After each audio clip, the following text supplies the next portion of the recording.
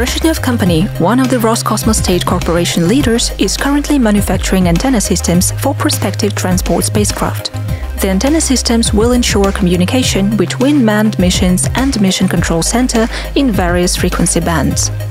Meantime, Reshetnev experts are finishing manufacturing the first flight model of the antenna system. After successfully passing acceptance tests, it will be delivered to the customer, Rocket and Space Corporation Energia.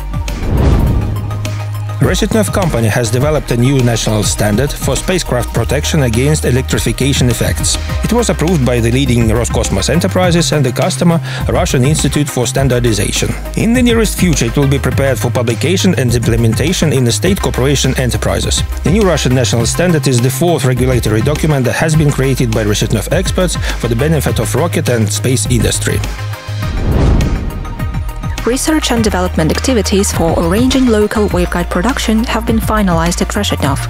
The company has implemented closed production cycle of world-class performance waveguides.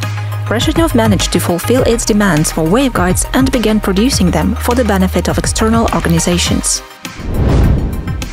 Reshetnev has manufactured a prototype of a new generation energy converting device. For the first time it features functional basic modules and digital automatic control system designed by the enterprise.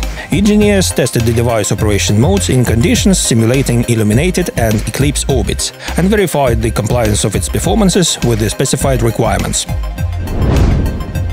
Reshetnev Company has presented the Mobile Radiation Oncology Suite project at the meeting of Russian Academy of Sciences. This is a medical device for use in intraoperative treatment for cancer patients. The scientific council participants recognized it expedient to implement Reshetnev development into medical practice.